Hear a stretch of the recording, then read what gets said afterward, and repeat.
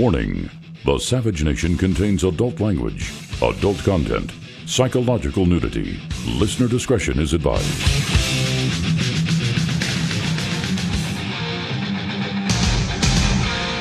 And now, America's most exciting radio talk show, The Savage Nation, home of unprotected talk, borders, language, culture. And here he is, Michael Savage.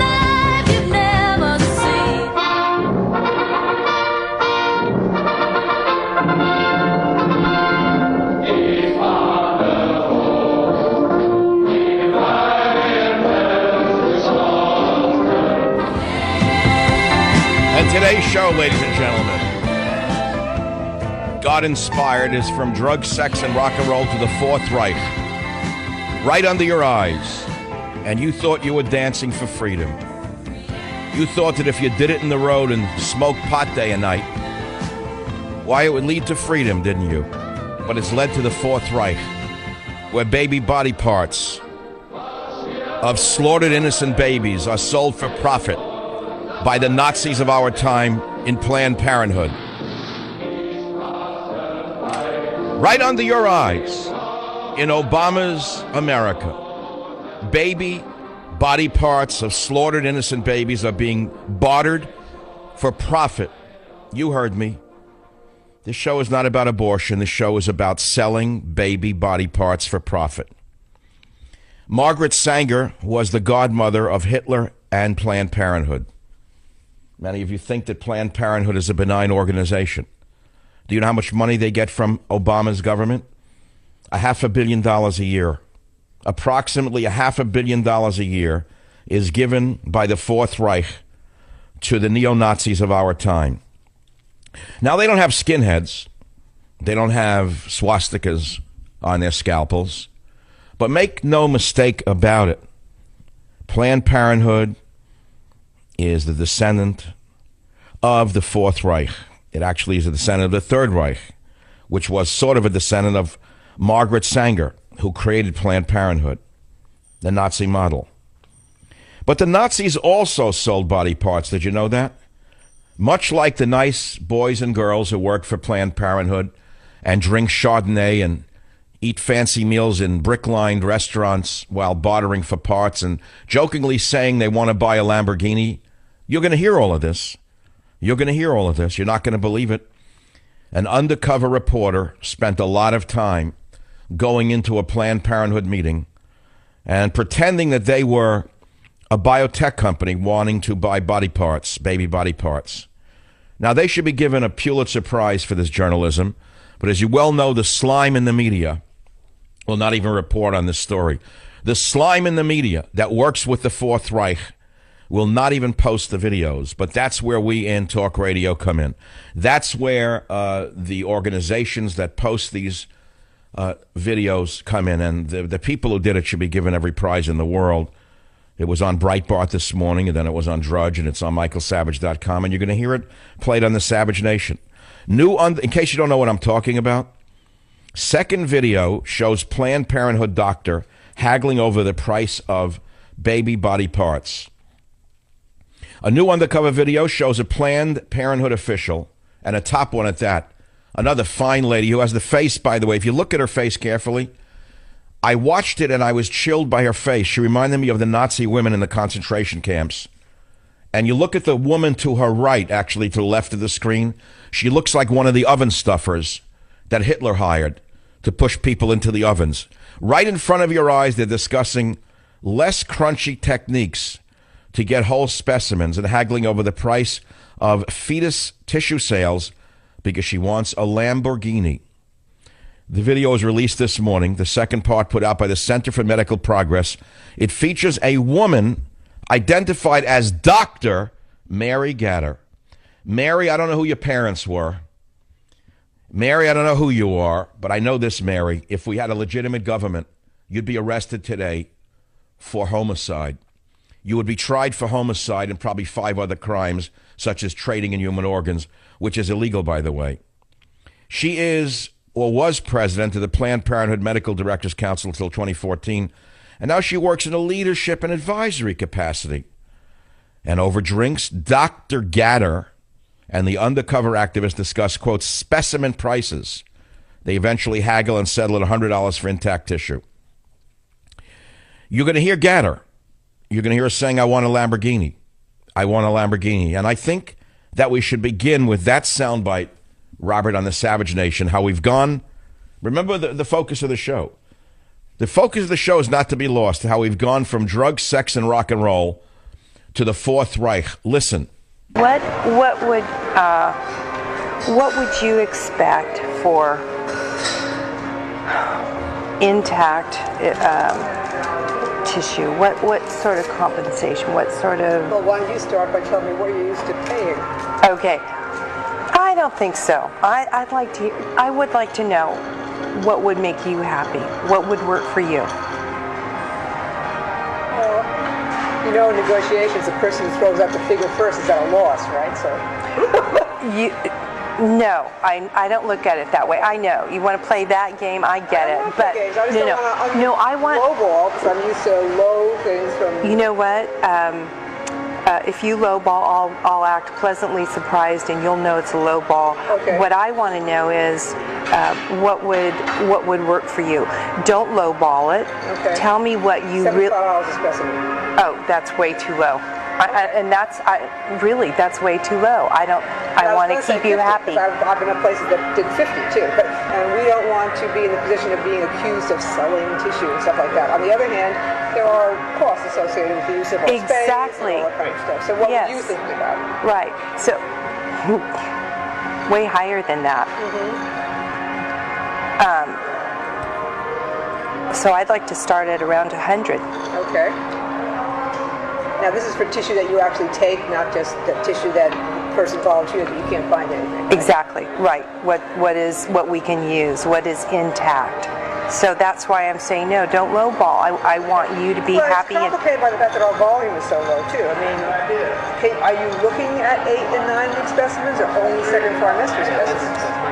It's been years since I've talked about compensation, so let me just figure out what others are getting, and if this is in the ballpark, then that's fine. If it's low, still low, then we can talk about it.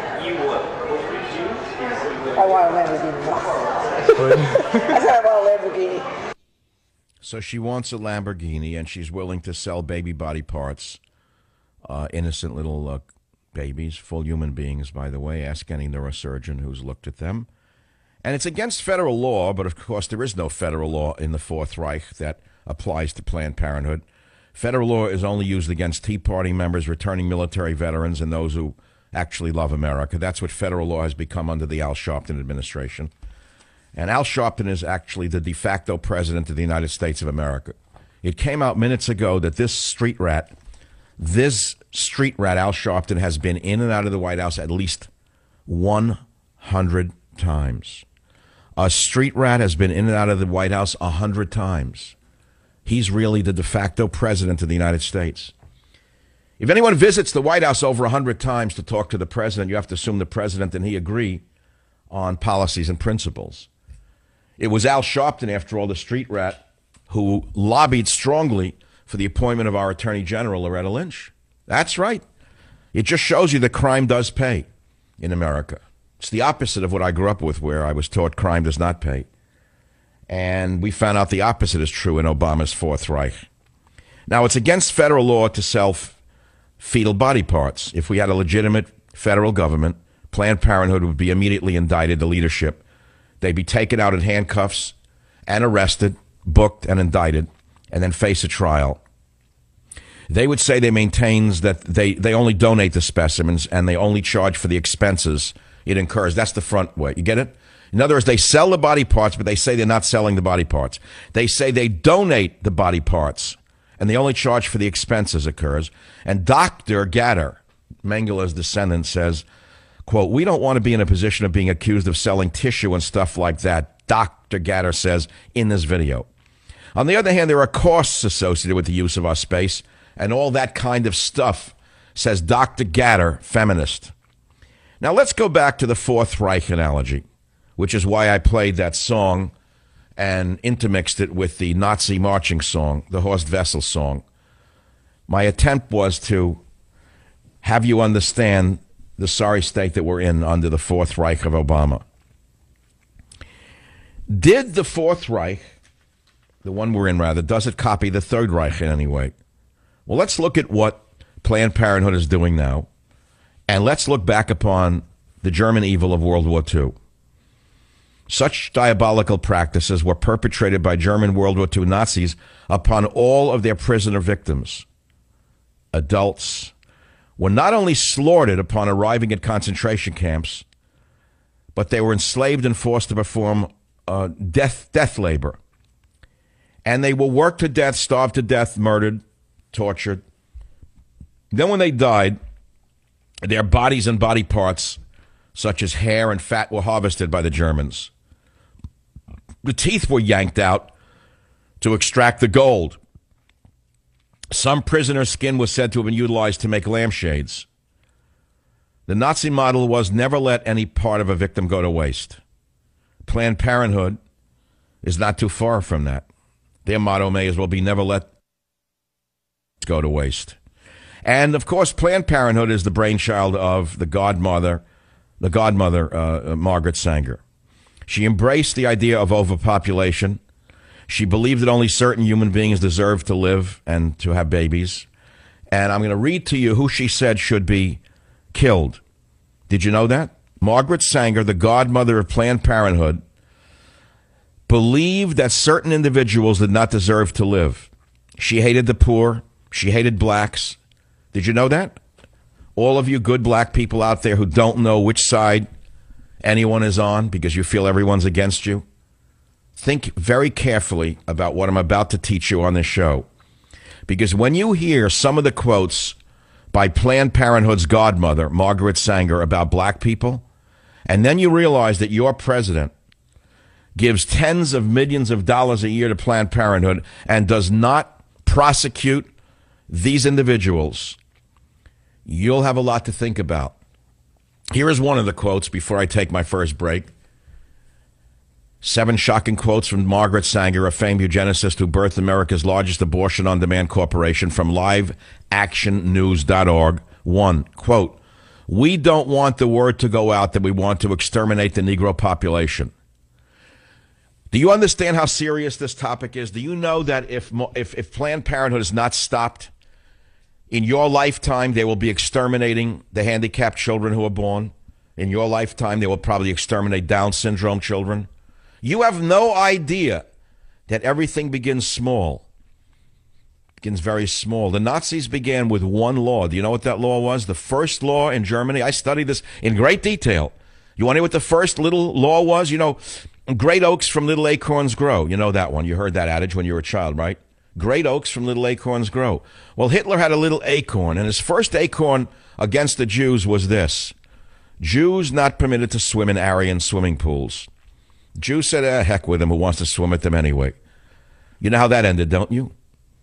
If you think Planned Parenthood is in the health and education business, just remember the adage great oaks from little acorns do really grow. Join the Savage Nation. Call now 855 400 Savage. 855 400 7282. Savage. My Savage Nation is sponsored by SwissAmerica.com, the only company I trust to protect my wealth with gold and silver. Call 800 B U I C O I N. Here's the killer. Here's the killer. Rock and roll is amazing. The people are so darn talented, but their message is so warped that it will lead to the sale of baby body parts and people are indifferent. Meanwhile, Al Sharpton sneaks in and out of the White House. Meanwhile, Obama puts down Christianity and lifts up Islam. Meanwhile, there are murder after murder by Muslims, and Obama does nothing to stop the slaughter.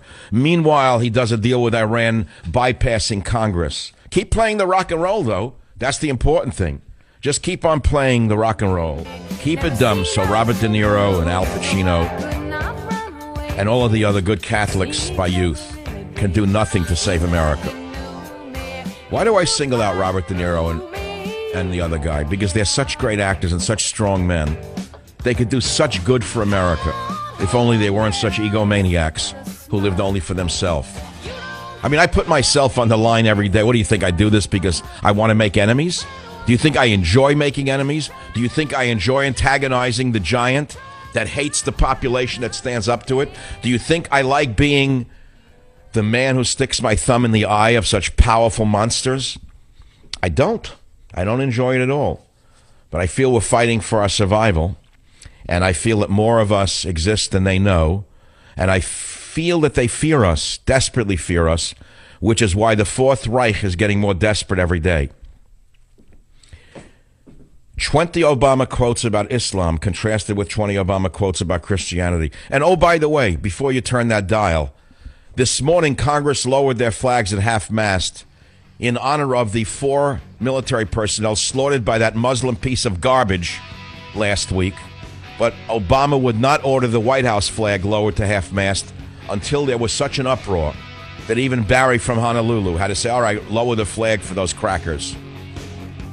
That's right. The same man who lit the White House for the gay night, the same man who lit up the White House for gay night, wouldn't lower the flag. But he had Al Sharpton in the White House a hundred times. Join the Savage Nation. Call now 855 400 Savage. Savage. Turn your sovereignty over to the UN. Turn your babies over to the death machine. New songs in the Savage Nation, always changing. Throw out that fetus, throw it in the garbage can. Well, actually, you can donate it. Think of the money can be made. You can buy a Lamborghini with the parts. Then earlier I played uh, the, that song is amazing. I didn't know who Rhiannon was. Rhiannon, the witch. Uh, is a witch, and a Welsh witch, Rhiannon. A Welsh witch in the woods, Rhiannon. How did these these rock and rollers are pretty great? I mean, let's face it, that's why they were so successful because they were so incredibly smart and so incredibly creative. Let's be honest, we love them, still love them. But remember what I'm saying to you. Why do you think religious people fear? What I'm about to say to you is true. Why do you think they fear television? They won't have them in their houses. Do you know that? You know that religious people will not have televisions in their houses? Most of them won't have radios in their houses. Some of them have my uh, bought radios for my show. Do you know that? They won't go to the movies. Why? Do you think that they're stupid and throwbacks? Well, they understand what it does to their children. There's a story this morning that, you know, I'm going to give you one example of uh, I'm going to get off the track for a minute because I, I tend to wander. The seven quotes by Planned Parenthood are now up on michaelsavage.com. And she began the eugenics movement. She felt that blacks, minority groups, the diseased and disabled uh, should be killed at birth. They should be terminated. I'm not making it up. If I made it up, I'd be out of business. Margaret Sanger, quote, We don't want the word to go out that we want to exterminate the Negro population. In a letter to Dr. Clarence Gamble on December 19, 1939, Margaret Sanger, the mother of Planned Parenthood, exposited her vision for the, quote, Negro Project, a freshly launched collaboration between the American Birth Control League and Sanger's Birth Control Clinical Research Bureau. The letter echoes the eugenic ideology still visible within the corporate vein of Planned Parenthood today. This comes from Live Action News. I'm going to just read it. She wrote, it seems to me from my experience that while the colored Negroes have great respect for white doctors, they can get closer to their own members and more or less lay their cards on the table, which means their ignorant superstitions and doubts. We should hire three or four colored ministers, preferably with social service backgrounds and with engaging personalities. The most successful educational approach to the Negro is through a religious appeal. It's very interesting, Robert, when you consider that Reverend Sharpton goes in and out of the White House. Now, he's a reverend like my dog is a reverend. What do you mean, a reverend? Well, why do they call him Reverend Sharpton? How does he get that name? Anyway, she goes on and says, We don't want the word to go out that we want to exterminate the Negro population, and the minister is the man who can straighten out that idea if it ever occurs to any of their more rebellious members, close quote. Then she says, I accepted an invitation to talk to the women's branch of the Ku Klux Klan. I'm going to read, you want to read this? No, I don't have to do it. You can read it for yourself. Now, this is not directly related, but yesterday something was said that is so shocking and so important it must be listened to. Wesley Clark is a former retired top general. Remember him? Former Democratic presidential candidate. Last week, rather, on Friday, he called for World War II style internment camps to be revived for disloyal Americans. He did not say Muslim terrorists, by the way. In an interview on the despicable network owned by Microsoft's Bill Gates and NBC, in the wake of the mass shooting in Chattanooga, Tennessee, where you see they keep saying Chattanooga, Tennessee now. The word Chattanooga now covers up the word Muslim terrorism, Islamic terrorism, Islamism. Now the word is Chattanooga. The vermin in the media found a new word. No longer are their service members dead. They've annihilated them. They're not even killed. It's Chattanooga now that suffered. Chattanooga was hurt.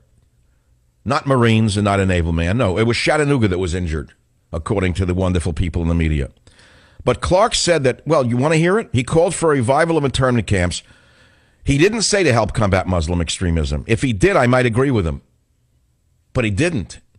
Listen to his speech. It's very important. And it's somewhat related, somewhat related, somewhat related, related somewhat to what I've been doing for you on the show about the sale of baby body parts. Listen to Wesley Clark. We are at war with um, uh, this group of terrorists. They do have an ideology. In World War II, if uh, someone supported Nazi Germany at the expense of the United States, we didn't say that was freedom of speech. Uh, we, we put him in a, in a camp. We, they were prisoners of war.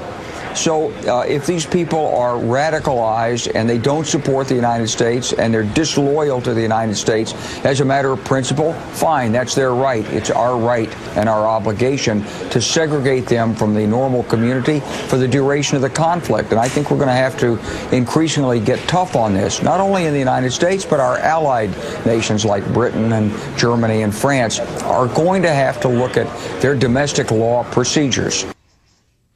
Well, if he was talking about interning people who are preaching jihad, I don't care whether they are Muslim or not. If they're preaching jihad, they could be a Catholic, they should be interned. It's that simple. If you've got, and by the way, you have many imams doing this right in front of your nose in this country. Make no mistake about it. Go and look at the news that's being hidden right now. Do you think this is limited to the quote lone wolves? Every time there's another terrorist incident missed by Jeh Johnson of Department of Homeland Security, Another one was missed in Chattanooga. The shattered Chattanooga, the residents of Chattanooga, by Mr. Abdul Zabazabazad, the Muslim extremist who committed jihad on our soil. Missed because DHS will not ever, ever, ever acknowledge its Islamic ideology that is behind this extremism. They come up with every excuse known to mankind to hide that. And you're never going to win this war against Islamic extremists unless you identify them as such and understand what their ideology is. That's the first rule of war is know thy enemy. Now, the only question is about Wesley Clark. Who was he talking about when he said we must inter those disloyal to America? That's see, that's the little the little caveat I have. Well, we could if it's Barry from Honolulu, it would be all Tea Party members. He might inter all the conservatives in America into camps. You say they're disloyal to his to his America, his vision for America. So be very careful with this uh, willingness to absolve yourself of civil liberties to defeat the enemy. That would work if we had patriots running America. But since we do not have patriots running America, I wouldn't give them one green pea's more power. I wouldn't give them the amount of liquid in a green pea more power than they already have over us, we the people. But I thought I should play the Wesley Clark piece. It's an interesting discussion. Yeah. So where do you want to go now? I need more music to get back to, to where I was. I want to go back where I was. McCain's fellow POWs trash Trump, saying we protected his ability to be a billionaire. Now, this is an important soundbite. By the way, I still support Trump. I'll vote for Trump. I like Donald Trump. I think McCain is a lout, but McCain is a hero. I said that yesterday. And so he made a little error, big deal. A lot of people make little errors. Obama's made big errors. Has anyone called him on the carpet for it? No. But they won't stop going after Trump for one reason. He's the leader right now of the entire conservative movement in America, maybe the world. He's the leader of the Western world. You know that? You know that Donald Trump has moved up to being the leader of the whole Western world right now with his love for America, love for borders, language, culture, family uh, military. He's the only one articulating those views. You understand that? But nevertheless, he has set off a little uh, shockwave here by, you know, saying things about McCain that people took uh, umbrage with. I like the word umbrage. Uh, Kerry says Iran and their vow to defy the U.S. is very disturbing. Right after he gave him the keys to the nuclear bomb, this jerk, Mr. Ketchup, Iran comes out and says that we're going to knock America off, knock Israel off, death to America, death to Israel. And even after this deal, our policy toward the arrogant U.S. will not change, according to Khamenei, whatever that one is, Ayatollah Khamenei. Well, Ayatollah, what does Ayatollah mean? In, in the, I want to translate it properly. Because by this definition, we could have an Ayatollah running America for all I know. Doesn't Ayatollah sort of mean supreme leader or top uh, guy? What does Ayatollah actually mean?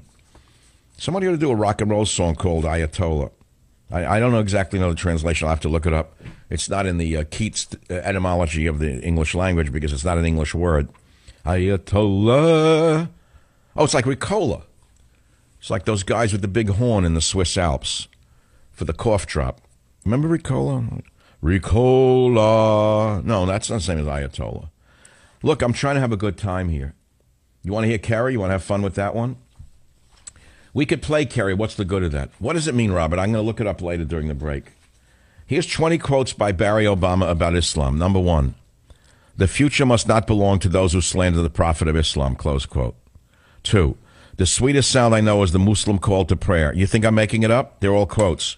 Three, we will convey our deep appreciation for the Islamic faith, which has done so much over the centuries to shape the world, including in my own country, close quote. Four, as a student of history, I also know civilization's debt to Islam. Five, Islam has a proud tradition of tolerance. Uh, really? Even in Chattanooga? Six, Islam has always been part of America. How's that? How, how is that possible? You mean George Washington secretly had a prayer rug? You mean Jefferson prayed to Mecca six times a day? I didn't know that Hamilton uh, had a fez. I can, I can read more of it. This is from Michael Snyder on CD Clothesline. 20 Obama quotes about Islam, contrasted with 20 Obama quotes about Christianity. Here's one about Christianity from your Christian president. One, quote, whatever we once were, we are no longer a Christian nation. Two, we do not consider ourselves a Christian nation. Uh, you want more? You would like more about Obama's uh, quotes from his books and his speeches? Because we have them here. I realize it's impolite. I realize it's somewhat offensive. But I said before, as I say again, that unless we shock you, you're not going to hear us at all. So we got to shock you, wake you up, after all, those of us in talk radio, even those of us with PhDs and master's degrees and authors of many books, we're nothing but shock jocks. I mean, the people you should believe are the guys who are like that guy William or Wilson, whatever his name was. I always forget his name. Who was that one? The pancake guy they fired? Brian Williams, that's right. Now that's a reliable source. Or Dan Rather, or the one who gave the troop movements away on television, that one with the the mustache on uh, ABC. Who's the mustache who gave away the troop movements and then went down to Cuba to uh, look for uh, Al Capone's vault? I think he has a name. I forget his name. Now, they're reliable sources. Another reliable source for you would be Planned Parenthood, because they're in the health business. Another reliable source about the word of Jesus would be Al Sharpton, because he's a reverend. And if you don't trust Al Sharpton's views of Jesus, then you can turn to the other great Reverend Jesse J Jackson. He knows an awful lot about the teachings of Jesus, especially about being a money changer in the back of the temple. uh, yeah. Well, what else do we have for you? I need more rock and rollers. What I need right now. Who wouldn't agree with that? I would say Hate is a Battlefield would be my song. Shut it off. This is the problem I have. I have to really read the lyrics to even understand a word of it. Even though I grew up in the age of rock and roll, I mean, other than the 50s, I could understand the lyrics. I didn't need a translation. I didn't have to go to AZ lyrics. Now I have to go to AZ lyrics to even know what the heck they were talking about. In the old days, you could hear it. You know, I love her, I love her, I love her, I love her. She's on a pedestal. I'm nothing. She's great. That's all the rock and roll songs. Or she left me, she left me, she left me, and I'm a dog. That was the, the music of the 50s. I understood that. I'm no good, I'm no good, I'm no good, and she's great. That, that was the rock and roll that I grew up with. That's all. Now, now it's I don't know what they're talking about. I have to go to AZ lyrics. But when you read the lyrics, they're pretty amazing if you're on mescaline and glue. I'll be back in a minute. Join the Savage Nation. Call now 855 400 Savage. 855 400 7282. Savage. My Savage Nation is sponsored by SwissAmerica.com. It's the only company I trust to protect my wealth. Call 800 B U I C O I N. After the hour, you're listening to the one and only Savage Nation. You know, there are millions of people who love me. I don't care about the 17 people on Twitter who make believe they're 17 million. 17 people on Twitter are the people who have boycotted this show for 21 years and cost me millions and millions of dollars a year. Do you know that? Invented audience outrage at me, Rush, and others. Did you know that? 17 people control this entire uh, industry. Now I'm going to turn to Ayatollah Al Sharpton. He is now an expert on global warming. So far as I know, he didn't go very high up in school. I certainly know he doesn't have a degree in anything to do with anything if you're wait till you hear this, you're not going to believe how desperate they are. Here is Al Sharpton, Ayatollah Sharpton on global warming. Listen to 15. For me and many of the champions that you will see today, it is an issue of justice and it is an issue of human rights. African Americans are at a higher risk of being uh, close or predisposed to areas of, of carbon uh, as well as this? other poisonous pollution in the air. What a and schmuck. we have a disproportionate interest because we suffer disproportionately. You must have carbon in your brain, you putz. Carbon is a poison, you moron? I can't believe it. Ayatollah Sharpton on global warming? Can you believe the country would have sunk this low that the president would have this rat in the White House a hundred times? Join the Savage Nation. Call now 855 400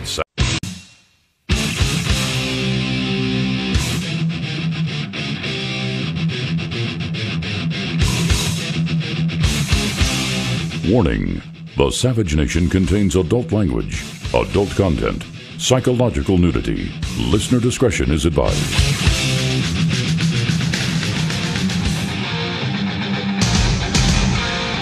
And now, America's most exciting radio talk show, The Savage Nation, home of unprotected talk, borders, language, culture. And here he is, Michael Savage.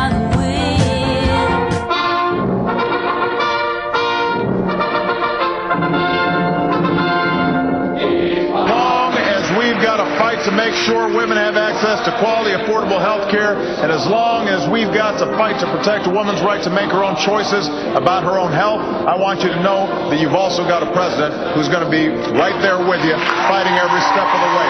Thank you, Planned Parenthood. God bless you. God bless America. You've come a long way, baby. Just light up a big, long cigarette. That was the 60s. Remember that campaign? That was the campaign of uh, Madison Avenue Madmen. You've come a long way, baby, so now you can light up a cigarette and give yourself lung cancer. Then you heard it's our bodies, our cells. So you want to throw a, a fetus into a dumpster in the middle of a, of, a, of a club scene? Go ahead, throw a fetus in a dumpster. Now we wake up and we're in the Fourth Reich, and Planned Parenthood is uh, apparently selling baby body parts for a profit, and she's heard on tape joking about selling dead baby body parts and haggling over prices and saying she wants to buy a Lamborghini. Just kidding. so that's why I say that you know, each show of mine, I try to create what's considered to be a theme. Today's theme's a simple theme. From drug, sex, and rock and roll to the Fourth Reich. Little simple theme. A simple thematic. Each day I start the show, I look at all the sound, I look at all the stories, and I say, what's combining it? From drug, sex, and rock and roll to the Fourth Reich. And you wake up and you can't believe how, how, how low it's going. The flags are lowered at half staff by Congress in the memory and in honor of the four servicemen killed by the Muslim fanatic last week in Tennessee. And Obama stubbornly refuses to lower the flag all morning. All morning. That stubborn man won't lower the flag because he don't like the crackers that were killed. Finally, in the afternoon, the flag is lowered. The, the sorority said, Mr. President, look, this is getting bad. We'll lose the entire We'll lose the entire military vote on this. Ah, who cares? Listen, Hillary's got to take the reins after you're through. I mean, be practical, lower the flag, get out. So that must have gone on for six hours. Unless he was practicing some uh, golf stroke. I don't know where he was. And it's not a joke anyway. It's sickening. Then it gets even better. There's a White House conference today, a religious conference of some kind, uh, a faith symposium. A faith symposium. Who do they invite? Al Sharpton. Now, Al Sharpton, as you well know, invented his reverend's degree. I, will repeat it over and over again. I worked for many years to earn a PhD. That's why I'm called Dr. Savage. If you are a medical doctor, you work many years to earn your medical degree. If you are a lawyer, you work many years to become a doctor of jurisprudence. I take very seriously titles in our country that are so hard to earn. So when I see a nobody like this, a street radical, an agitator, a communist, a self serving communist, simply using race as a weapon to profit so grandly up, across the years, now he's in and out of the White House a hundred times advising the president on how to agitate, how to agitate America, how to attack police, moving every day towards a federalized police force, which, by the way, the police should fight if they have to with everything in them. Do not let this gang federalize the police force, or we will be living in Mexico where the federales rule the people. Rule the people in a terror state. If you want to see a federal police force instead of local police, I warn you, you will be living in a third world despotism like you can never imagine if you let these people take over the control of the police forces in this country. What else would Sharpton be doing in that White House a hundred times? Scheming! Scheming! Scheming with his buddy, Obama. They agree, obviously. Who has a man in the White House a hundred times unless you agree with him? Unless you need him. Well, what would Obama need Sharpton for? Think about it. Could you get into the White House? Do you think Trump could visit the White House? To discuss an opposition political belief with this uh, gang? No. Could any talk show host that you believe in on radio ever get invited to the White House? No. But Al Sharpton, a man like this, and of all things that he talks about, I want you to listen to perhaps the dumbest man in the history of the world talking about climate. And the important point here is not how stupid he is.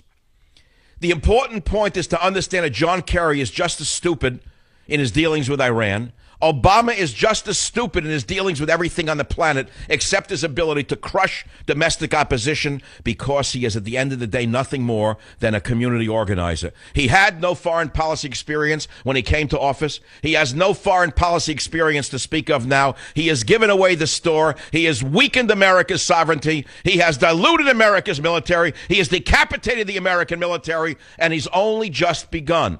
He's now going in for the kill. Listen to who he invites to the White House to talk about global warming. I want you to hear it, every last word.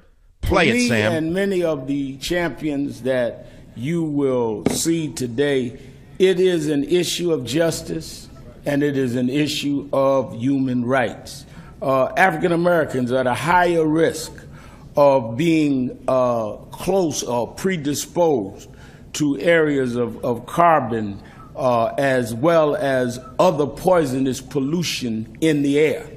And we have a disproportionate interest because we suffer disproportionately. So, as we have fought, and this administration has made history with health care, you cannot, the one, on the one hand, say that we want everyone to have great health care, but not everyone have great health.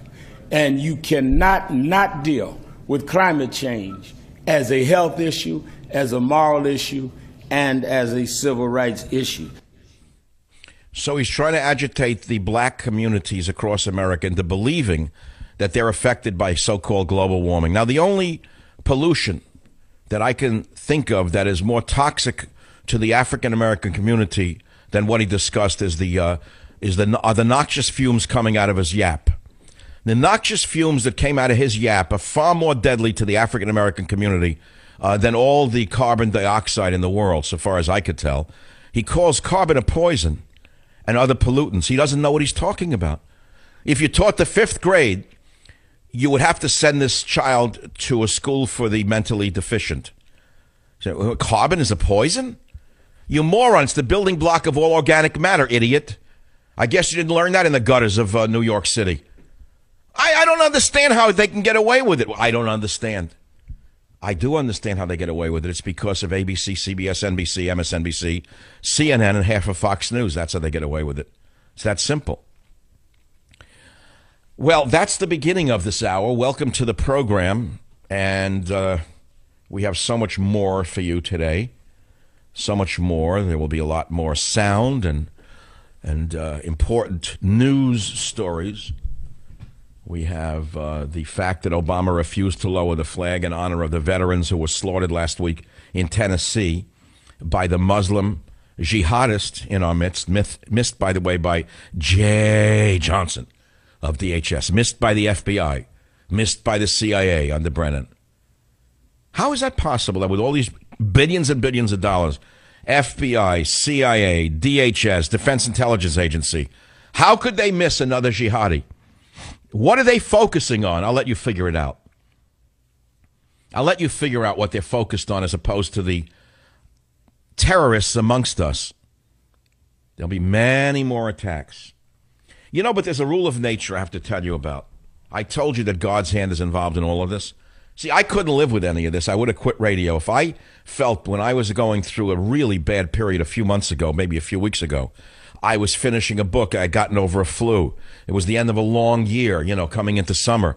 The flu wiped me out for two months. That um, uh, um, the flu from Honduras, the Honduran flu that I got, almost wiped me out. My body just really got wa- wasted by the Honduran flu brought in by Obama's children last summer on those trains. Oh, yeah, call it the Honduran flu. It's not the Asian flu. I haven't had a flu in 25 years. I don't get sick. I have minor complaints. I got wiped by it because I wasn't ready for it. And thank God I used all of the alternative medical tricks that I've learned over the last 40 or 50 years. I used to write books on nutrition, homeopathy, herbal medicine. I swear in a stack of Bibles that in addition to in addition to Western medicine, meaning the antibiotic that took on the strep throat, I was still not better. I was wiped out. I was weakened, and I used all of these other modalities to get myself back on my feet. Anyway, I was really weak. I was really weak, and I was just, the news was killing me. I didn't think I could take much more of it. It was so negative. And I didn't have the strength to carry the world on my shoulders, as you have to do every day in talk radio, whether it's myself or others. It's like Atlas Shrugged. I mean, we are in a way mini Atlases here. We carry the world on our shoulders every day. It's very hard to sort all the news, all the sound, and come up with a cogent statement every day for three straight hours. Try it someday, see how easy it is. And then something happened. And that something was my my again, I don't want to go on, but just say you're wrapping yourself, whatever. I had a revisit with God. Remember, I had that thing about the three rabbis that came down, the, the, mystical rabbis, and we had that very short conference in a hidden location. I played a tape of it on the show. Well, they helped me reconnect to that power. And that power is now surging through me again on a minor scale. I could just imagine what it's like to really tap into it, whether you're a Sioux Indian or a Christian or a Jew or another religion that knows how to reach the powers of God. I can't imagine what it's like to have 100% of that flowing through a being. I know there are people who have it, though. I've seen them bend nails. I've seen them sleep on beds of iron. I've seen them survive Auschwitz. I have seen those miracles. Because a religious man told me 40 years ago when I was wandering in the desert and I didn't know which way to turn, he said, If you get the faith of God, you can move mountains. I didn't quite understand what he meant. I am moving mountains on this show every day. Do you know that? Do you realize that this is like moving a mountain every day? To have you, the audience, listen to me and care what I have to say, and even if you analyze it to say I disagree with them, you are the mountain that I have to move every day, one way or the other. I, Michael Savage, have to move a mountain every day. Maybe many mountains. You are the mountain. And so I use many different methods to move the mountain, to shake the mountain, to make the mountain tremble. So the mountain trembles in its, in its guts when it realizes what's being done to it, what it's being done to it by the enemy within. That the enemy within would be so low as to invite a street rat like Al Sharpton into the White House a hundred times and then, then insult America by having him talk about a subject upon which he can have zero knowledge. and then mumble about African American disproportionate and pollution and carbon and we're suffering and this and that, the civil rights issue. It's insanity. This is a few days after the insane John Kerry. By the way, John Kerry's not two steps above Al Sharpton, just a better delivery. What, what, what, what John Kerry has to say about his deal for, for giving a nuclear weapon to Iran is about as knowledgeable as Al Ayatollah Sharpton talking about the, uh, this global warming business. Do you have any idea how serious this business is of giving away the store to Iran? Do you know how Obama is a liar from the tip of his big toe to the top of his head? What a liar this man is and what he's doing for the New World Order? How he is instituting on a daily basis a move towards the end of America and wrapping us in, into a bunch of serfs controlled by a New World Order? What exactly can Iran hide in 24 days, Al Sharpton? What can Iran hide in 24 days on this nuclear agreement signed by John Kerry, Mr. Obama? I will read to you in a moment when I come back what Iran can hide in 24 days. And then your hair will stand up to realize that Obama is the biggest liar in history. I'll be right back. Join the Savage Nation. Call now 855 400 Savage. 855 400 7282. Savage. The Savage Nation is sponsored by Swiss America, the only company I trust with my financial future. Call 800 289 2646 or SwissAmerica.com. So Obama's lying through his teeth about the deal with Iran, as is Kerry the woman who negotiated the deal is a lifetime left wing fanatic anti American. And I pointed her out last week. She's the hidden voice. She's the one who negotiated many, many other anti American treaties. She's never seen, but she did it. So they're lying to you and saying that if Iran violates the agreement, the sanctions kick back in place. So they gave Iran, listen to this, 24 days notice now.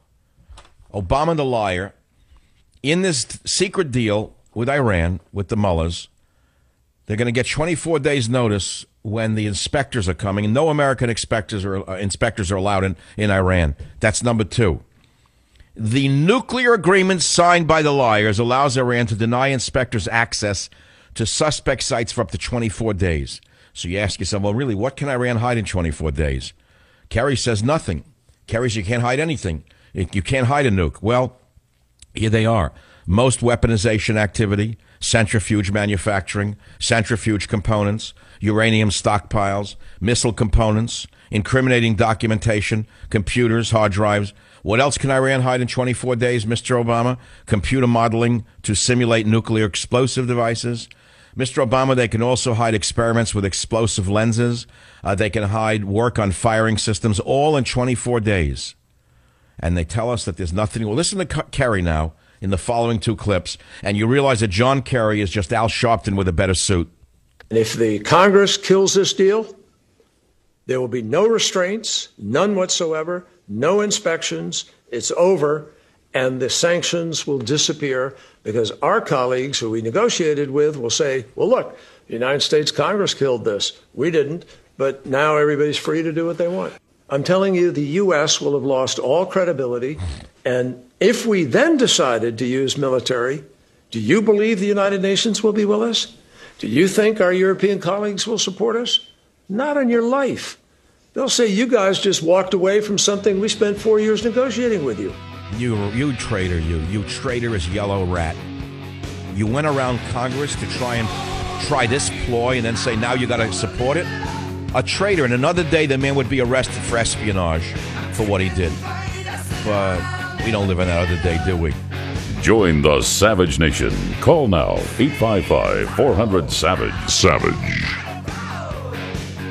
Rip. Oh, Pat Benatar. I don't have the dictionary translation with me. Turn it. I, I can't understand it.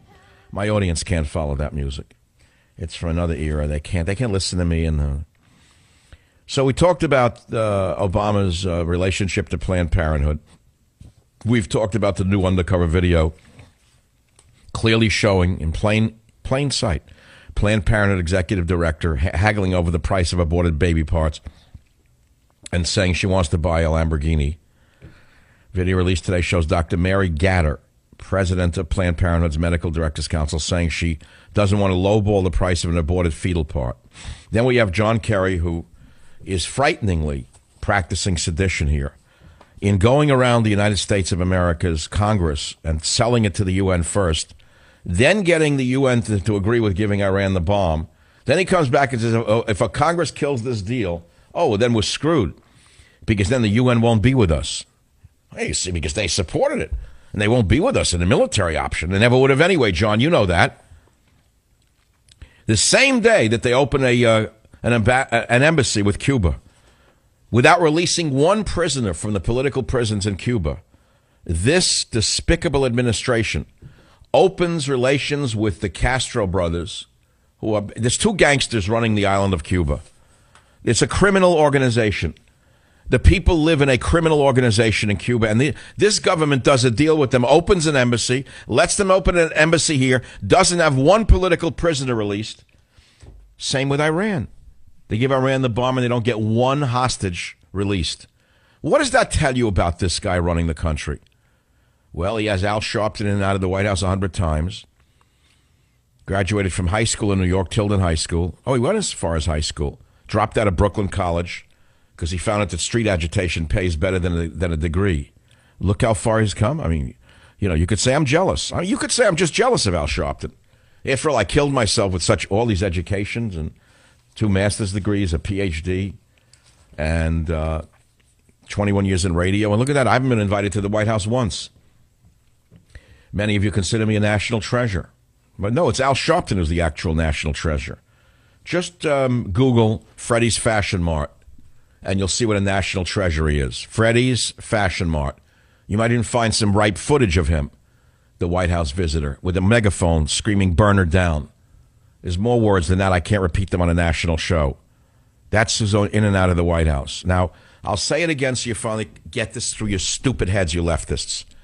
If a conservative had won the White House, and I don't mean Romney, a real conservative, let's say a real conservative had won the White House, but he was like a moderate conservative, the type you like. And then one day you wake up and find out that the uh, grand wizard of the Ku Klux Klan had been secretly going in and out of the White House over a hundred times. What would you say? Oh my God. Why? That president, that conservative president, had the head of the Ku Klux Klan in the White House a hundred times. That's the optic chiasmical equivalent, in my estimation, of Al Sharpton going in and out of Obama's White House. Now, I know those are two big words. For those of you who think carbon is a poison and carbon is a pollution, I understand that optic chiasmical is, is, is too difficult. It's not been used in the media. It's not like the word gravitas but there's actually an optic chiasma in the brain that, you know, when you see an image, right? You know, you're not actually seeing the image, you're seeing it upside down and reverse. It's, if you actually focused on this, you could probably go crazy. I could make a lot of people frightened right now. I think I'll stop. It's amazing how God designed our brains or, or how we evolved. Okay, we didn't, there's no God. For those of you who are just intimidated by the word God, you're frightened of it because you know you'll be judged. Don't worry, baby. We'll all be judged. Me too. We'll all be judged and we're all sinners. Don't worry about it. None of us gets out of this alive and all of us are punished. But nevertheless, the optic chiasm as designed by nature, God, Gaia, whatever you believe in, evolution, is such that what you actually see is upside down and backwards. And there's a little piece of tissue in the prefrontal lobe of your brain called the optic chiasma and it takes the image that you're seeing and it writes it for you to view it on your screen called your mind. This is how incredible we are. You understand how great we are? You know why I became a biologist originally? I would sit in the classroom and I would trace. I was so bored of school. I hated it. I, I had all sorts of illnesses, probably. Mainly, uh, the illness of intelligence was the worst of all the illnesses I suffered. The illness of creativity is another illness I suffered from. The illness of not being able to sit still for too long, another illness I suffered from. So while they were lecturing me on this and that, I, I would sit with a pen and I would trace the outline of my fingers and palm on a piece of paper over and over again. Then I'd flip my palm over. And, you know, my father had a little antique store and he had a jeweler's eye thing that you put in your eye, like a magnifying glass. Well, he gave it to me to look. I used to love to look at rings and stuff with it. It was a little magnet. I would look at the lines in my hand or I would blow up the, my fingernail to look at it. And I would wonder at the creation that created my palm, the lines in my hand, my nail. Now, today, of course, they would have had me probably treated for a medical illness. Child cannot sit too long, uh, was caught with a device staring at his hand. Uh, then they would have taken him to some quack with a medical degree would have said he has ADD, ADHD, probably 15 illnesses. And they would have taken me out because of my creativity and curiosity, another illness I suffered from. Curiosity is an illness, you know, to those who hate boys. All of the all of the syndromes that I just described to you are those used to to destroy the males of our population by the you know who. You know who's doing it. It's the same ladies who run Planned Parenthood. And if you look at the faces, they look like the oven stuffers from the 1930s in uh, Poland and Hungary. To me, that's just my uh, it's my projection. My projection. I look at their faces, I see the oven stuffers from the 30s. To use a vulgarity, a grotesque vulgarity to describe the death of millions of human beings at the hands of monsters. So you see, it all comes around. Now, so Wesley Clark says there should be internment camps for uh, disloyal Americans. And he hints at, almost says the word, but doesn't say uh, Islamic. Uh, never says that, never defines it. Now, what if Donald Trump had said what Wesley Clark said Friday that I played for you? What if Donald Trump had said that instead of uh, McCain wasn't, maybe he is a war hero? Oh, well, what would Wolfie do then? What would all the brave boys and girls jumping on Trump do then? Wesley Clark a Rhodes Fellow, by the way. Oh, yeah, Bill Clinton, a Rhodes Fellow. What's a Rhodes Scholar? What's Rhodes, Rhodes? Row, row, Rose, your bow. Rhodes, Rhodes, R H O D E S. Why? Oh, yeah, name for that fellow Rhodes, Rhodes. Yeah, roads. The roads all lead to Rome. That's right. All, all roads lead to Rome. You remember that phrase, all roads lead to Rome? You know where that came from?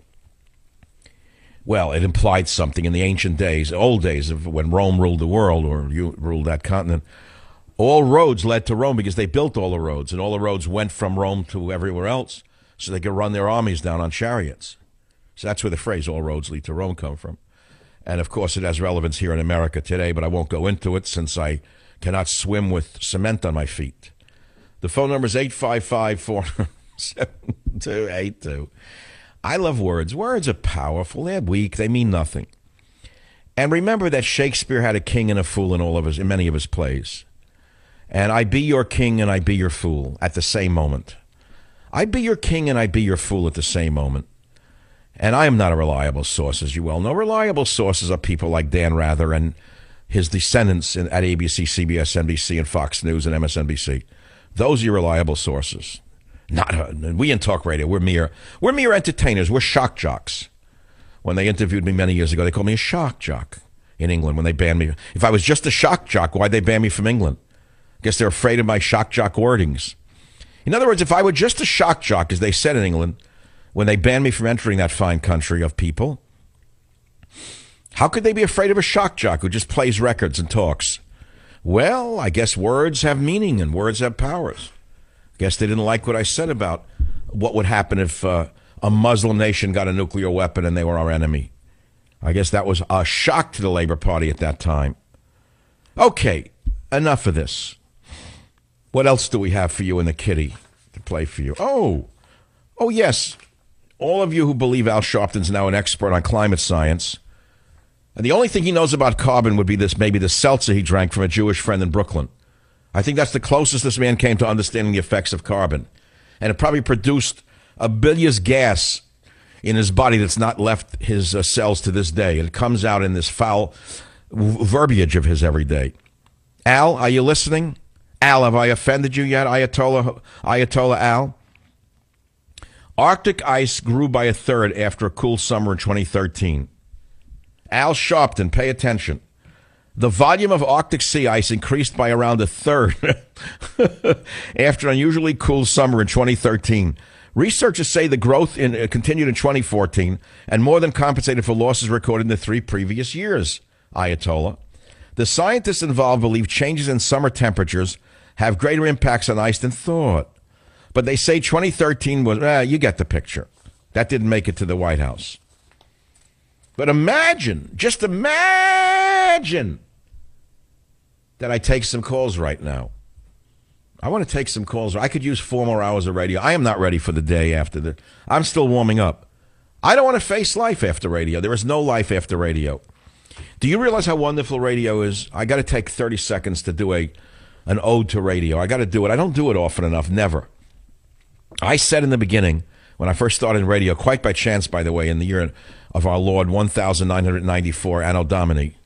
Anno Domini. I'll take one with sausage and cheese, please. Say Anno Domini, I think you're talking about pizza. Okay, but that's the society I live in. That's the that's the level of education. Anno Domini means yeah, okay, pizza with so. So the point is that in the year 1994, I started by accident. I had several other careers before this, and I loved it so much, despite all of the local liberals who tried to trip me up. Every day that I was on the radio in KSFO in '94, every day there would be an incident of a liberal from KGO or somewhere else whispering stories about me trying to get me thrown off the air. And then there were rumors that I would never make it in radio because my voice was too New York. Can you imagine? My accent was too New York. Little did they know. There was a local schmendrick here who wore a Hawaiian shirt for the last 500 years. The same Hawaiian shirt he started at at a radio station. He's, he's sick now. I can't pick on him. But he thought it was good luck to wear a Hawaiian shirt that stank. I don't think he ever washed it. They tried him out in L.A. They gave him two markets. I said he'd flop. I said he's too weak. I gave him a nickname. It stuck, and they threw him off the air in L.A. But the thing is, with my two New York accent, I'm now on many, many stations, hundreds, millions of listeners, 21 years. Thank God. Thank God. But why am I telling you this? Because I want to say one other thing about radio. Radio gave me a high that I never had before. So I went to a, a program director, and I don't know if it was him. Someone said that radio is the greatest natural high there is. If you are on the air and you're doing your job right, and you are rolling and you can feel it, and you can feel the, the, the music running through your veins, out through the microphone, into the ears, hearts and minds of the listeners, you'll feel an experience like I said, I know it. That's what I'm trying to say to you. And so I've said to you in many interviews, I've said this, that the three hours that I am on the radio are the best part of my day. say, well, that's sad. Okay, it's sad for you. It's not sad for me. For three hours, to use a phrase from the old group, I think the Eagles, right? No, Fly Like an Eagle. Who was that? Who, who did Fly Like an Eagle? whatever. Yeah, Steve Millerby. I had a friend years ago. I wonder where he is today. Steve, he was in that group. He was a nice guy, guitarist, and gold records on the wall, platinum records, nice dog. Anyway, I used to say to him, no, I oh, didn't know him after I was in radio. I saw him moved or some. But the thing was, is I would say that for three hours I fly like an eagle. I soar. I, I have wings. I take wing. And then for 21 hours I crawl like a, well, like everyone else. I'm just protoplasm with a heart and mind struggling to get through, man. and the object of just trying to get through is to not commit too much damage along the way. That's the object. In other words, it's so hard, life is so hard, you're bound to screw up, hurt everyone around you without trying. No matter who you are, you are going to hurt everyone around you at some point in your life without even trying. That's where the word apology comes in. That, that's where it came in. That's in the, in the vernacular. I apologize. It does have meaning. But they want Trump to apologize for something he almost said, didn't say, while Kerry calls for internment camps and they don't ask for an apology? No, no, there's no bias in the media. So for 21 hours a day, my friends, I, like you, feel the pain. And for three hours a day, I fly like an eagle and I take wing and I shall return. Join the Savage Nation. Call now 855 400 Savage. 855 400 7282. Savage. Hey, our Savage Nation is sponsored by SwissAmerica.com, the only company I trust for wealth insurance, gold and silver. Call 800 B U I C O I N. Fleetwood Mac. Who knew they were this good? I was too young to understand how good they were. I was only 40 at the time. It's taken me all these extra decades to actually appreciate rock and roll that I hated. I remember I would come home and I, I would listen to my teenage son listening to groups that I, I'd break the, the, the CDs, I'd throw them in the garbage. And then some he left in the joy, grew up, moved on, and I, I started listening to them. Now I play them on the show. I swear some of my bumper music came from the dresser, stuff he left behind. I mean, he was ahead of, you know, it's like, it was another world. Do we have the other Fleetwood Mac before we go leave my poor audience that wants another hour of me? How about go your own way? You know, they say in television I was on television once for three months. I was told to make love to the camera. I never could kind of fathom what that meant. But it's the same with radio. You really do have to love your audience to do well at this. Join the Savage.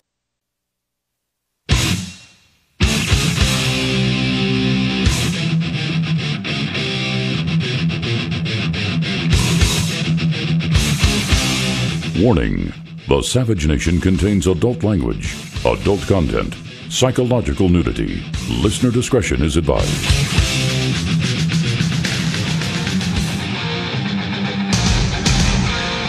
And now, America's most exciting radio talk show, The Savage Nation, home of unprotected talk, borders, language, culture.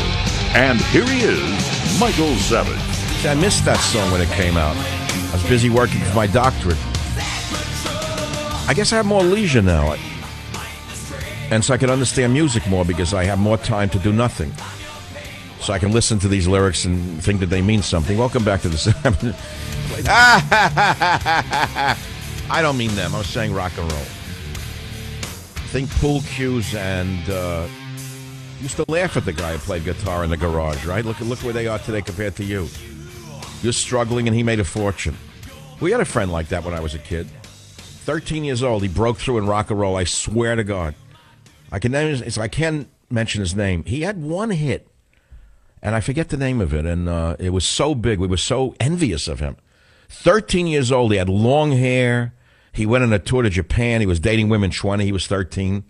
No, today we consider, I think, rape or molestation. 13 years old. Looked like it was one of those kids, 13, who looked like a man. There was always guys like that. They had like hairy arms. They grew a beard. I don't know how that worked. Remember when you were a kid, it was very hard to like be a man at 12, 13. You couldn't wait to be a man. Your voice was still very high. And you sounded like you were in radio, but eventually you became a man that sounded like Savage. But those were hard times to go from 13 to 14, you know, that. So this kid was like, and he went, I don't forget, but years later, as the clock turns, as world to world turns, calendar moves on, he had this early success. And then he just was forgotten, fell off the edge of the earth. He became a postman in Woodstock, New York. And I saw him years later in a, in a postal uniform with a sack on his back. It wasn't bad. He probably has a nice pension today, given that the federal government gives out nice such nice pensions. I'm not knocking it. My uncle was a postman. Well, what's wrong with it? Someone has to deliver the mail. I'm not knocking it. People live in the mail. A truck pollutes. They didn't make the truck. The most polluting vehicles on the planet are postal trucks. If you get stuck behind one on a country road, you could die. It's like a floating gas chamber. I never saw anything like it. One lane and you're behind a U.S. postal truck. I mean, if they're so interested in carbon, they ought to have Al Sharpton redesign postal trucks so they don't pollute the way they do. But nevertheless, here we are. It's the third hour of the Savage Nation. I'm still going strong. We're talking about everything from, well, I can't review. That's a good thing to do, review. I can't. If you came in late, it's your problem. You'll have to catch up. You'll have to get the uh, Savage Cliff Notes. what you missed. I'm not going to give you the Cliff Notes. But today was a real low point for the Obama administration. They didn't actually get caught because no one report on it. Congress lowered the flag at half staff in memory and in honor of the four uniformed personnel slaughtered by the Muslim terrorists last week in Chattanooga. And Obama refused to do it. He was just stiff necked. No, I'm not lowering it. No matter what anyone said, the sorority was, they're probably screaming over this. Josh Earnest, the Goebbels our time, in my opinion, covered up for the president. Oh, yeah, he'll get around to it later. There was an early, I swear to God. The guy said, yeah, you'll hear more about it later, blah, blah, blah. ISIS linked Twitter account mentioned the Chattanooga minutes before shooting. You missed that last week? An ISIS linked Twitter account mentioned something about to happen in Chattanooga, Tennessee, about 15 minutes before the first shooting that left four Marines dead and one sailor dead, Fox News reported. According to multiple news sites, the tweet read, Oh, American dogs, soon you will see wonders, and included a hashtag which I'm not going to read. Moments later, the shooter killed four Marines and then a sailor. The shooter, who was killed by police, thank God, may he rot in hell, has been identified as. Can I read his name or is that considered racism? It's very embarrassing because his name is Muhammad Yusuf Abdulazeez. They say originally from Kuwait, but he was not Kuwaiti, he was Palestinian. They also left that out of the report because that would make you think, wait a minute, Palestinian, Palestine violence. Gee, that hasn't been in the news for a while. Can't report that. Doesn't mean all Palestinians are committing violence, but he wasn't from Kuwait. That's all. All right, here we are. Here's an email from a friend, Michael Savage. You're taking me back to the late 60s and the early 70s when I was a teenager. He said, I wasn't very well behaved, but hearing you in the music today took me way back, far, far back. And he said, Savage, today was the perfect day to go there because my 93 year old pal, who was a bathroom attendant all his life, just passed away. You see, he worked every day of his life since he was 11, right up until he got sick a couple of weeks ago. Michael, he had pride in his work. His bathrooms were always spotless. I would love to talk with him when we went out to dinner, and sometimes I get in trouble with my wife and guests waiting back at the table. I'd be in the bathroom talking to the bathroom attendant. He was a wonderful example of a man who lived through the worst of Jim Crow, who never complained and always bragged about this country and its greatness. So, Ma- Michael, it's been a melancholy day, and then you came on with the music and your delivery. It couldn't be any more perfect. You truly know your audience, and he shall remain anonymous. See? You touch people. And here we are. What would you like to talk about uh, since we're on the airwaves, crackling with life, as your bright antennae bristle with the energy of Michael Savage? And I move you in ways you couldn't believe you'd be moved by an invisible force. I still say a radio is an amazing medium, probably the most powerful medium there is, because we have nothing. I don't have legs and lipstick and hair that I can swish around on Fox News and shift in the seat. Now you could say I'm jealous. I mean, okay, I'm jealous, but I'm not. A, I don't have those attributes to begin with. Number one, if I were Caitlyn Jenner, okay, another story. But I don't have that. And then we have Obama on the Iran deal, lying through his teeth like kingdom come. Okay, we may as well make your day. We got to play the the big guy, the big guy now, the big deep voice that's so great.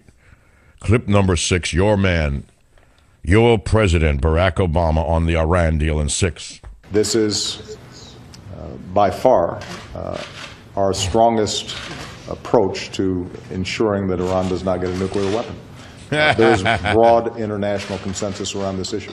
Oh yeah. Not just uh, among no, no. Uh, the international community, but also no. among uh, oh experts in. oh, you know, all the sciences is in. Yeah, all and, the science is my in. working assumption is, is that Congress will pay attention to that broad-based consensus. Well, all the science is in on this, and, and therefore anyone who disagrees is a, den- a, denier. It's like climate. Anyone who has any science that denies uh, what's going on is a denier. They should be excommunicated. The same with the deal with Iran. Anyone uh, doesn't agree with his experts, he got six uh, uh, shills from, from the expert field. Oh, yeah, yeah, yeah. Gave him jobs in the energy department, gave him big grants. So, what can Iran hide in 24 days? Most weaponization activity, centrifuge manufacturing, uranium stockpiles, missile components, computer modeling to simulate nuclear explosive devices, work on firing systems, experiments with explosive lenses. That's what Iran can hire in 24, hide in 24 days. And Obama has given Iran 24 days to get ready for the inspector. Could you imagine, like saying to a cocaine smuggler, you tell the DEA, look, here are the new rules for the DEA. You know that there's all sorts of contraband coming across the border, but under Obama, we can't break into that warehouse in Phoenix or on the border anymore because it's not fair to the drug dealer. So we're going to give drug dealers 24 days notice as to when we're going to visit the uh, the uh, warehouse to look for the illicit drugs. And by the way, there'll be no U.S. Border Patrol or DEA agents permitted in those uh, inspection on those inspections because it would be racist. So we're only going to use Mexicans to inspect the uh, the facility. That's what Obama's selling you. And he has Al Sharpton speaking on global warming. I swear to God, I'm not making this up. I'm not creating this. I'm not creating. It's impossible to believe that we could have fallen to this level of dumbness. Dumbness, dumbest nation in the history of the world. I used to watch the news when I was a kid, and I would laugh at South Americans in Uruguay because they were such big soccer fans. I knew they were corrupt banana republics. I figure the people are stupid. They don't even know what's going on. I wake up, I'm living in Uruguay. And the Fourth Reich is operating now with the abortion mills and the sale of body parts. I was going to go to a soundbite. Now, I don't want to play Al Sharpton again. I can't do it. That will give me a migraine tonight. I won't be able to sleep. I don't know what I want to do right now. It's like the third hour I change gears. I took books out of my library. Here, how about if I read Maximum Immunity in Norwegian? I have the Norwegian edition. or I could read Indianer Medizins, my Earth, my book Earth Medicine, published in 1972 in German. That, that's been. I found the German edition of, of Earth Medicine. The French robbed me, of course, being French. The book was in many languages, Earth Medicine, except one language. They just robbed the book. They took the title and the entire book and robbed me. I tried to sue them in international court. I couldn't get a dime. Sort of like what I'm doing now with the victory in the Ninth Circuit Court of Appeals. Five years and a million dollars later. You want to hear the justice system? Yes, I won. Now find the money. That's all. That, that's the justice system in America. Wonder why The Godfather was so popular. no, why do you think The Godfather? Because we know what the justice system is. Even when you win, you win nothing. That's where Don Corleone came in in the movies. That's why everyone liked it. Helmkraut. Die Cherokee Frauen tranken. Bei as belieben der Menstruation einen Affuch as diesem in Amerika hemmischen Kraut um sie asluschen. I can't do German. Dr. Millspoor wiest darauf rein. That's the German edition. I swear to you, it's interesting. Berberitz, die Penobscot in Maine, behandelten Geschirr im Mund. no, German isn't an angry language. It isn't. It was just made angry by comedians who didn't know how beautiful the language was. German is a beautiful language. And some of the finest literature in the history of the world before Adolf's boys took over. The most advanced civilization in Europe. Look, look where that led to. You ever figure that one out? I've read so many essays on it. Whole books on it. how could the most advanced European civilization of its time have invented the concentration camp and tortured people to death? Well, now let's jump cut. How could the most advanced society on earth have devolved to such a point that they're bartering over baby body parts? Ring the bell on that one. Uh, she says she wants to buy a Lamborghini. That, that's on the, every website now. Drudge had it this morning from uh, Breitbart. I have it on Michael Savage. You know, it's sad to watch because you look at the faces of those Planned Parenthood women, and there they are. There they are. There's the Third Reich again, in my opinion. Only it's acted out now in the Fourth Reich. But this is a tough topic. People don't want to hear it. That, that's an embarrassing, tough topic. It's very hard to do. They, just like, they don't want to hear about it. Like baby body parts, turn it off. I don't like it, don't know it. They should be arrested, but don't tell me about it. It's not for radio. Let's not do that again. Okay, so I'm not going to do that. I'm not going to do it. Trump, yes, that you could play. Bashing Trump, that's allowable. Uh, Kerry lying about Iran, give him a bomb, we don't play that. Dead liar. No, that didn't make it to ABC. But the Trump, 5,000 minutes a day. Oh, Trump said this about McCain. Mr. McCain, you're a war hero, right? Oh, yes, yes, yes, but I'm not really a hero. It's those other men, and I'm just a humble old uh, uh, senator. And uh, that Mr. Trump, 10,000 times a day from all of the little the Lilliputians. Trump, Trump, Trump, Trump, Trump, Trumping, Trump, Trump, Trump, Trump. Not one word about John Kerry's lies about the nuclear deal. No analysis. Not one minute statement about uh, Wesley Clark calling for internment camps. I can't believe it. I can't believe it. Sure, I can believe it. Absolutely can believe it. But it is summer. And uh, in the summertime, we have a good time here on the Savage Nation. In fact, come August, August are good shows for me. I'm not there yet. But in August, I go to the uh, uh, end of August, the Hotel Ozone, which was a 60s underground movie that I loved. But it becomes that tempo for me. Are you listening to me? Are you still listening or you tuned out already? Don't tell me. Don't you dare tell me. Don't you tell me you jumped over to Wallbanger. Don't you dare tell me you're going to listen to the, that Connie Barker, please. Because the only thing he knows about is slums and how to manage them. That's it. If you want to know about apartments and drywall, that's it. The same story every day. Demo- well, them Democrats, them Republicans, Democrats. Not supposed to bash anyone on radio. I get it. No, I'm not doing it. Just not in the mood to do any more news. I don't know what I want to do. I'm just thinking about it. I, I know what I'm going to do. I am going to come back the minute I come back, and I'm I'm either going to read the Doors of Perception by Aldous Huxley or something else. I'll be right back. Join the Savage Nation. Call now 855 400 Savage. 855 400 7282. Savage. Your Savage Nation is sponsored by SwissAmerica.com. It's the only company I trust for tangible assets, gold and silver. Call 800 B U I C O I N. You know, not long. He's the Neville Chamberlain of our time who believes that over the next 15 years, Iran is going to change their behavior because this deal doesn't require them to do a damn thing in terms of changing their behavior. At the right, passage right at the end of 50. That's Lindsey Graham. Okay, stop. That's Lindsey Graham, the open borders guy. Open borders are us, comparing Obama to Neville Chamberlain. I guess I've been listening to the Savage Nation down there in the Carolinas. I've been saying it for quite a while. I mean, I'm not the only one. It's obvious. But actually, Obama's not Neville Chamberlain. That's a bad analogy. Neville Chamberlain loved his country, and Neville Chamberlain actually thought he was going to uh, stop war by working with Germany. And of course, immediately after signing the naval pact with Germany, uh, Germany invaded the country, and immediately after giving the pact to Iran, it's history repeating itself. The day after Obama sold America out to Iran, they said death to America. The very next day, it shocked even Ketchup. Ketchup Kerry was shocked, just shocked. A day later, they got the deal. They said, drop dead America. We're still going to bury you. Day later. It's like invading Czechoslovakia. Listen to clip four. Here's John Ketchup Kerry shocked that Iran says death to America the day after they got everything they wanted. Listen. I, I don't know how to interpret it uh, at this point in time, except to take it at face value that that's his policy. But I do know that often comments are made publicly and things can evolve that are different. Oh, sure. It's like Hitler saying, oh, yeah, after I get the, you give me the deal, Schmendrick from England, I'll invade Czechoslovakia. So then they invade Czechoslovakia. Kerry saying, well, I don't know, take it at face value, but things can change. He won't invade Poland. I mean, he won't invade Poland. He won't invade. No, no, that's that's as far as he's going to go. It's just the Sudetenland. Because it used to be German anyway. It's just rescuing his own people. They don't really mean it. They don't want to conquer the world and kill Jews and everyone else. No.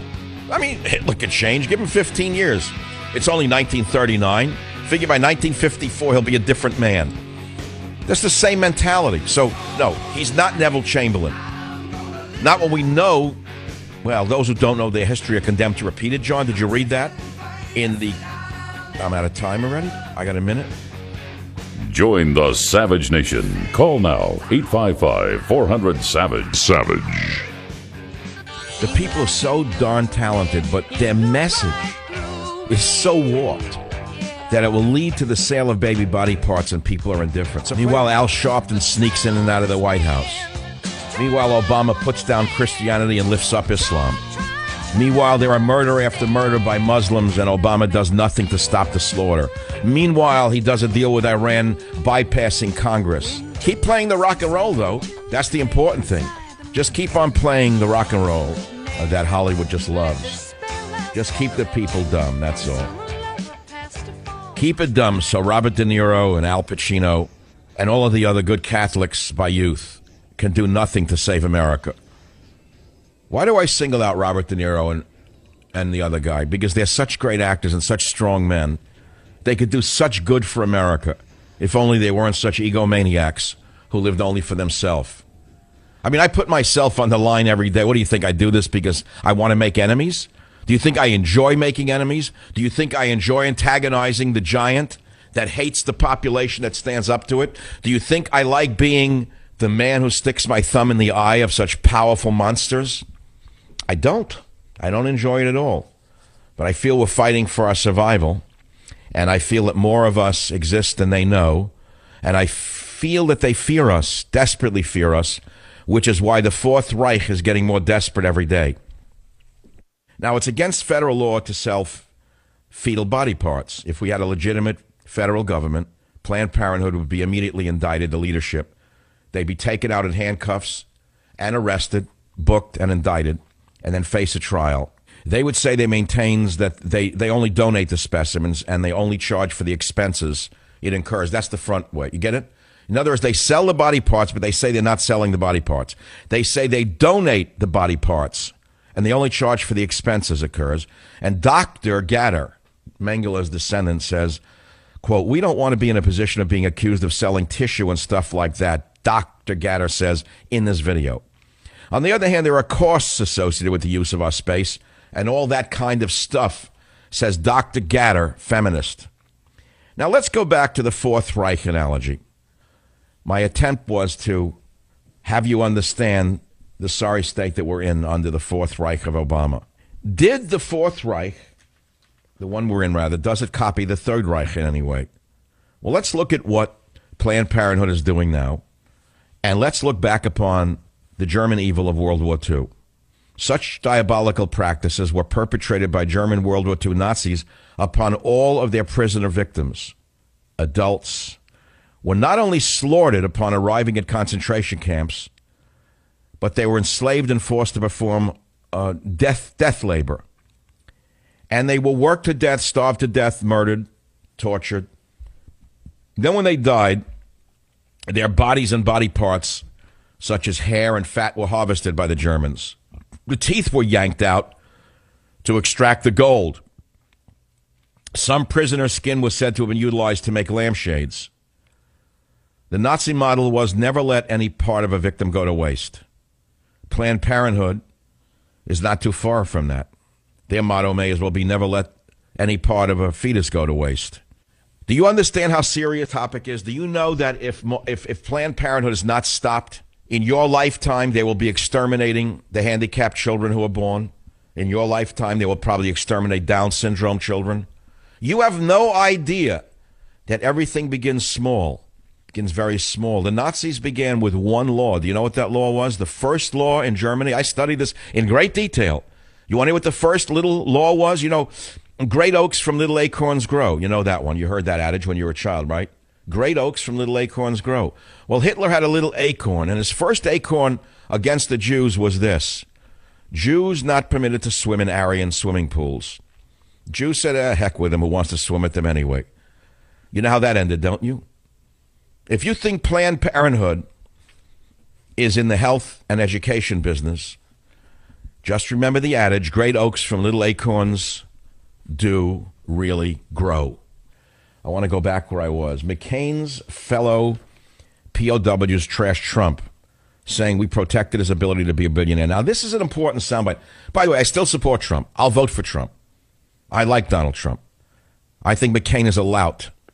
But McCain is a hero. I said that yesterday. And so he made a little error, big deal. A lot of people make little errors. Obama's made big errors. Has anyone called him on the carpet for it? No. But they won't stop going after Trump for one reason. He's the leader right now of the entire conservative movement in America, maybe the world. He's the leader of the Western world. You know that? You know that Donald Trump has moved up to being the leader of the whole Western world right now with his love for America, love for borders, language, culture, family uh, military. He's the only one articulating those views. You understand that? But nevertheless, he has set off a little uh, shockwave here by, you know, saying things about McCain that people took uh, umbrage with. I like the word umbrage. Suddenly, it's 1967. It's the age of the uh, Stingray. It's the age of Nam. It's the age of patchouli oil, no brassieres hairy underarms, STDs. It's the age of young men dying for the old man's war. It's the age of John McCain accidentally setting off a Zuni rocket on the deck of the aircraft carrier USS Forrestal, killing and injuring many, almost sinking the aircraft carrier. It was an accident. Hit the wrong button, that's all. Not his fault. He got sublunged in the, in the jet got mixed up and hit the wrong button. A, a, a, rocket went off. He almost sank the ship. Horrible situation. The ship almost went down. And, uh, you know, he did fly in Vietnam. He is a hero. He did get shot down. The Vietnamese tried to kill him in the pond, and one Vietnamese gentleman saved him, by the way. Oh, that's a secondary story that came out over the weekend.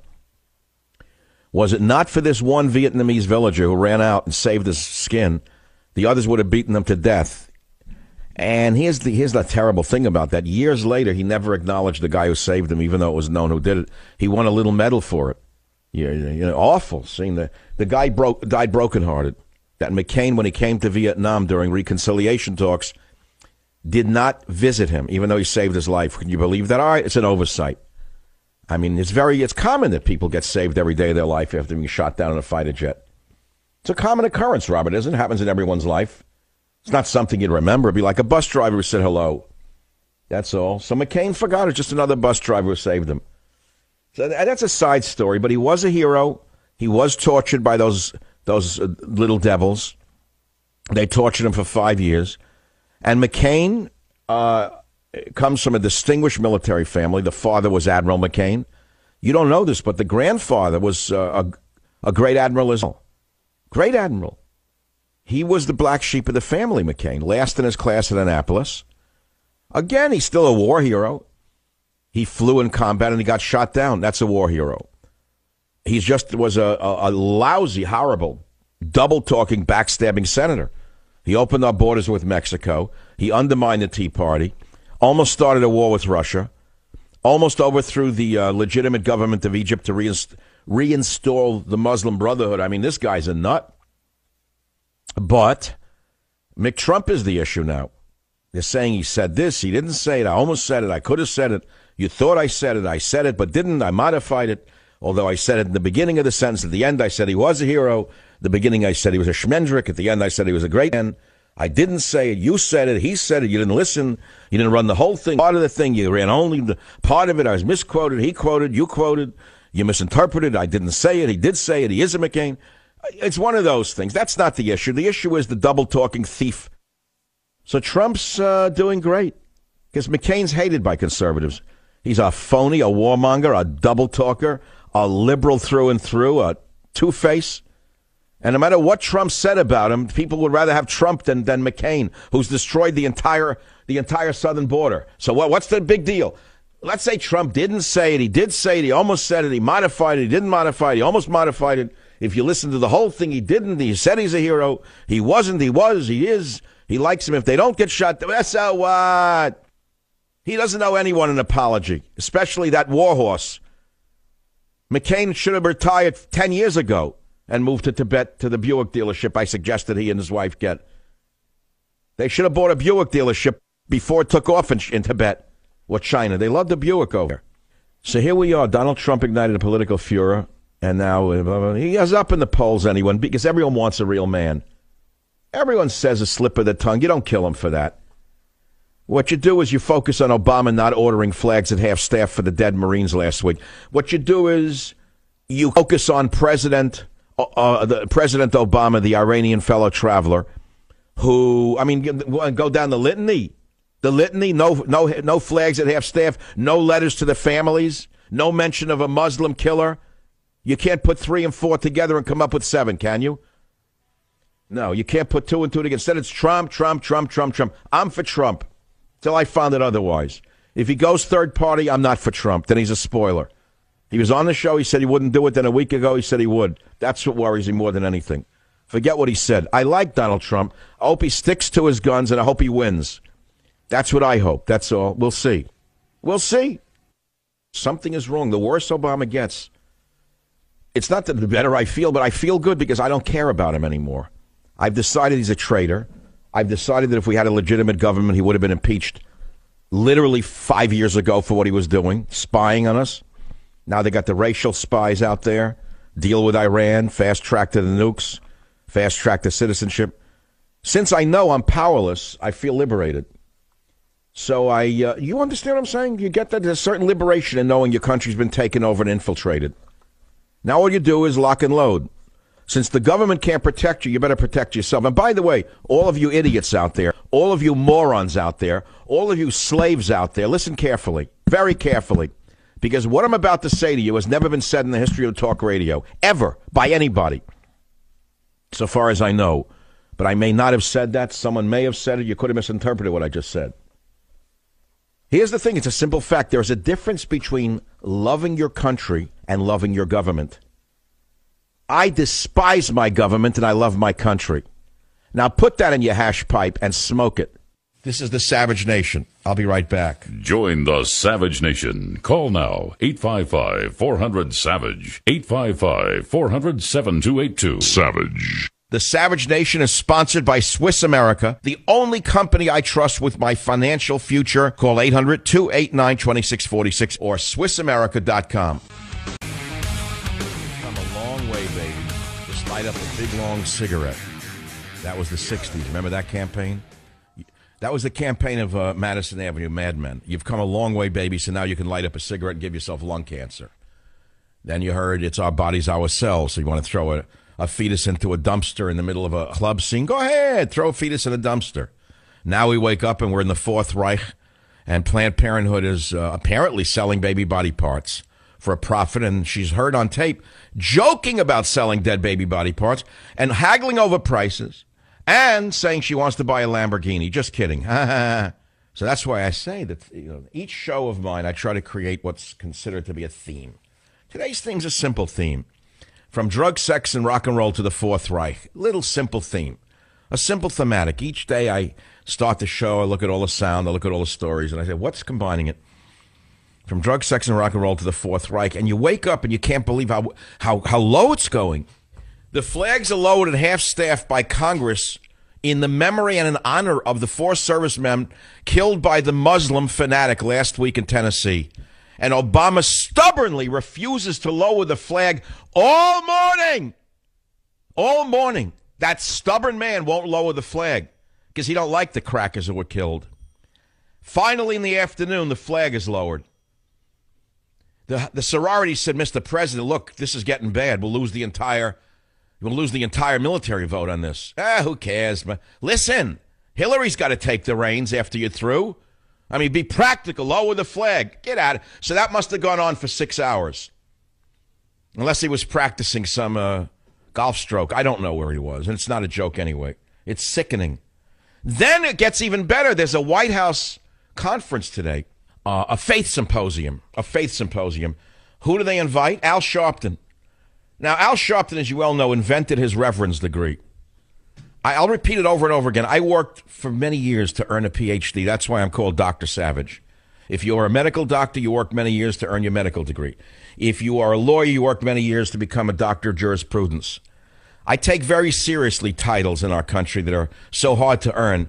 So when I see a nobody like this, a street radical, an agitator, a communist, a self serving communist, simply using race as a weapon to profit so grandly up across the years.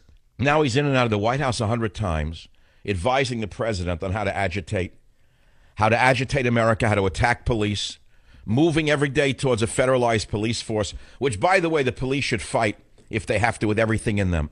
Do not let this gang federalize the police force, or we will be living in Mexico where the federales rule the people. Rule the people in a terror state. If you want to see a federal police force instead of local police, I warn you, you will be living in a third world despotism like you can never imagine if you let these people take over the control of the police forces in this country. What else would Sharpton be doing in that White House a hundred times? Scheming! Scheming! Scheming! with his buddy Obama. They agree, obviously. Who has a man in the White House a hundred times unless you agree with him? Unless you need him. Well, what would Obama need Sharpton for? Think about it. Could you to the White House? Do you think Trump could visit the White House to discuss an opposition political belief with this uh, gang? No. Could any talk show host that you believe in on radio ever get invited to the White House? No. But Al Sharpton, a man like this, and of all things that he talks about, the dumbest man in the history of the world talking about climate. And the important point here is not how stupid he is. The important point is to understand that John Kerry is just as stupid in his dealings with Iran Obama is just as stupid in his dealings with everything on the planet except his ability to crush domestic opposition because he is, at the end of the day, nothing more than a community organizer. He had no foreign policy experience when he came to office. He has no foreign policy experience to speak of now. He has given away the store. He has weakened America's sovereignty. He has diluted America's military. He has decapitated the American military, and he's only just begun. He's now going in for the kill.